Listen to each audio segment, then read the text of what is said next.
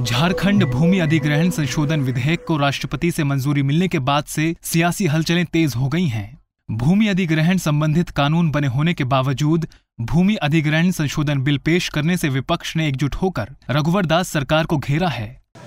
अगर वो रैयत नहीं ज़मीन देना चाहता है तो सरकार ज़ोर ज़बरदस्ती करके ज़मीन नहीं ले सकता।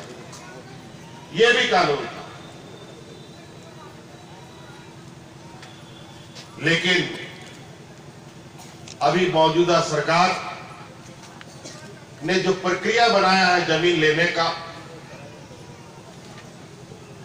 ना अब वो किसानों से कोई बात पूछेगा, ना रैयतों से कोई बात पूछेगा, और ना ही आपसे कोई इजाज़त मांगेगा।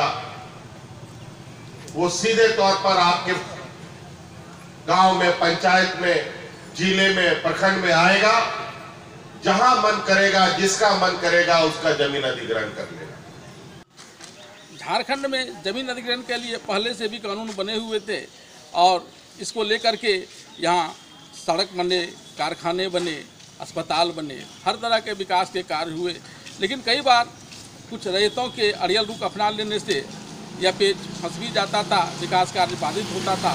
इसमें सुगमता लाने के लिए रघुवर दास की सरकार ने भूमि अधिग्रहण संशोधन बिल पास करा लिया और इस पर राष्ट्रपति का हस्ताक्षर हो गया और इसके बाद ही यहाँ विकास और विनाश को लेकर सत्ता पक्ष और विपक्ष की राजनीति तेज हो गई। अब 2019 के चुनाव में विकास का सिक्का जीतता है या विनाश का, यह तो वक्त ही बताएगा।